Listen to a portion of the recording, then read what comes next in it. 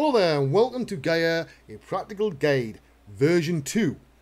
I'm Wayne Robson. Um, I've been working in the 3D industry for well over 25 years. I'm not exactly sure how long it is now, but uh, you know, I started in the last century. So I've worked in lots of different places from being a lead lighting artist at MPC, I've been 3D supervisor, I've done lots of different jobs, not all of it about terrain, but I've done a fair bit of that as well. Now, this is the main project uh, that we do right at the very end of this tutorial and it's quite complicated. We're using a number of sat maps being controlled in various ways so we can get nice little dark patches here and bits of sand and stuff like that. We also show from a geometry and erosion point of view how we can best control all this to get what we want, how to solve certain issues that we come across.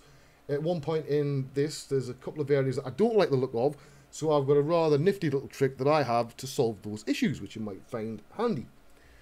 As well as this, there's a simple project, which is the ever popular Snowy Mountain Range. Because everybody starts off making a mountain range. It's, you know, usually covered in snow, and it's a very good way to get your feet wet. But there's also many, what I would call mini projects, as I'm going through all these nodes. Because often the best way of showing how a node works is to actually explain it and show it in use. So we go through every single node in this toolbox, the whole lot. We go through the UI, you know, everything. And I don't think I've, I've missed anything out at all. There's been a lot of work went into this one. If you're seeing this on YouTube uh, as a trailer, then if you're interested in Gaea, I would heartily recommend it because this will take you from zero to hero, as the you know tagline would say um, quite fast.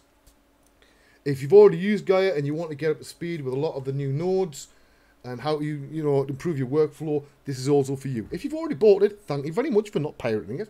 Uh, you know, independent creators like myself do suffer at the hands of pirates quite often. So I've been fairly lucky the last few years that this hasn't been uh, as much of a case.